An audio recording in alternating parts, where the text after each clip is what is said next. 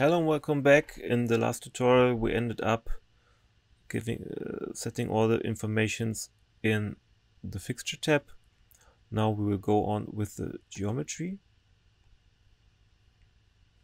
Here you can see a 3D representation of what the fixture would like, uh, would look like. So now here we can click on the body or the beam. We can also hide it. The body is the housing and uh, the beam is uh, like the lens, for example. And uh, in an in an LED Par, yeah, there are also lenses in there. So I would click on the body and here you can uh, set the geometries of the body down below here. The body. Here are the uh, xyz coordinates and uh, the xyz rotations but uh, I won't uh, let them in the zero place. Here it's a, a normal geometry. I would let everything like it is but I would recommend changing the length, the width and the height.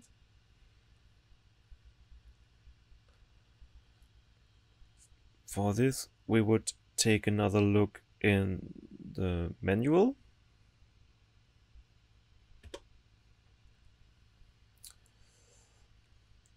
Unfortunately there are not many informations about the right sizes in here here I would say we have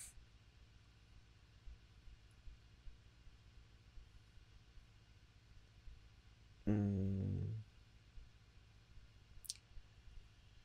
260 huh? so I would make that here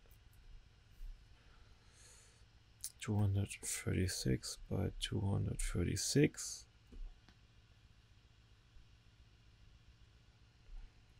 and the height I would say is something about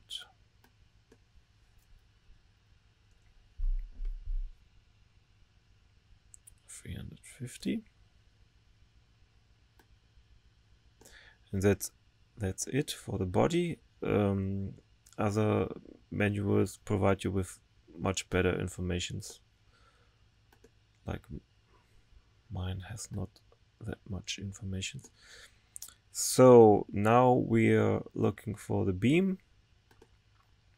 And you can see if I hide the body but you can also see it if I when I click on the beam that it sits right back in there. And I would like to have it at the at the front.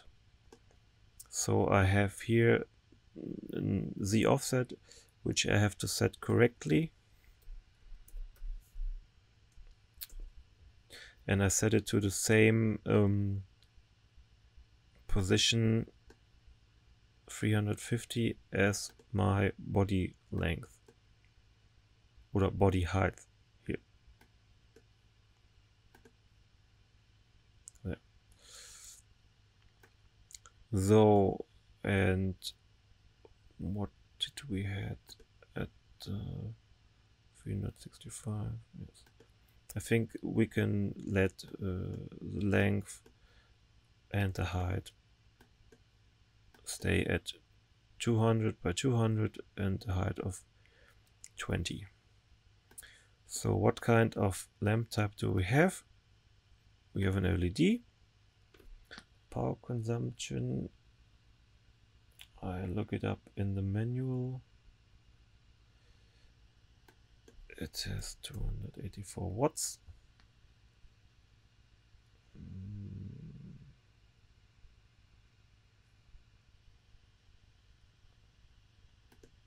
So the luminous flux I have to look up.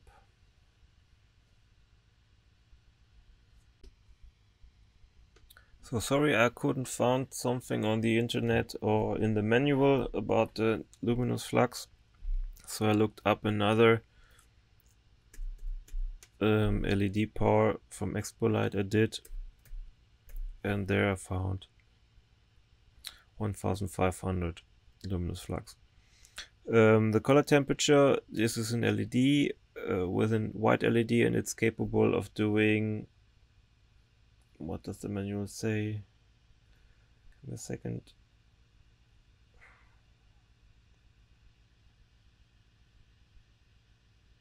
A color temperature range from 3200 Kelvin up to 10,000 Kelvin and I think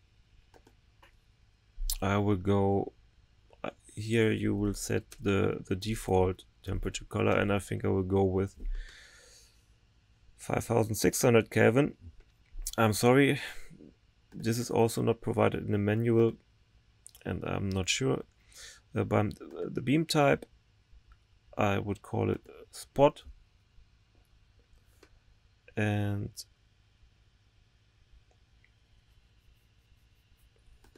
the beam angle is from 8 degrees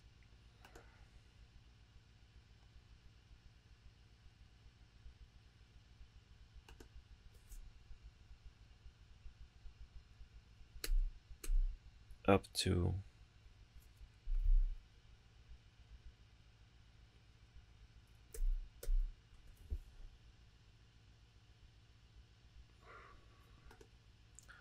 The beam diameter is, uh, um, as you can see, defines the diameter of the light output of the lamp's instance. And my my beam, my lens has a diameter of 200.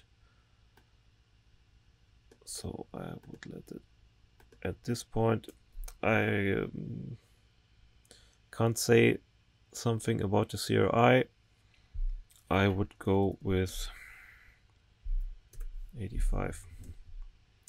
Yeah, that's not quite good if you don't get the right information. So it's not if you don't have the informations, the informations you put in here might not be right.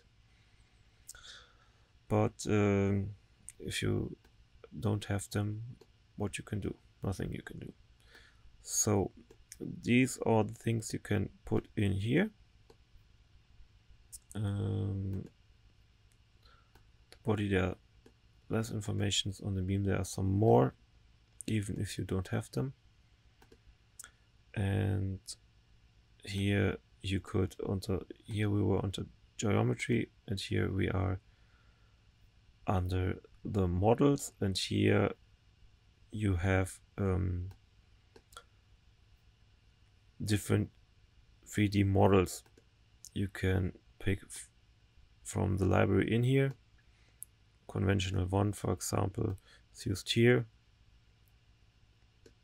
If you have a, a 3ds file, you can also upload it here and it will change the appearance of the fixture. And here, the beam or lens, you have a normal cylinder. You could, could change it to something else and it would look something different but we'll let that at this point. Um, in the next tutorial I'll be going on with the physical descriptions. See you then!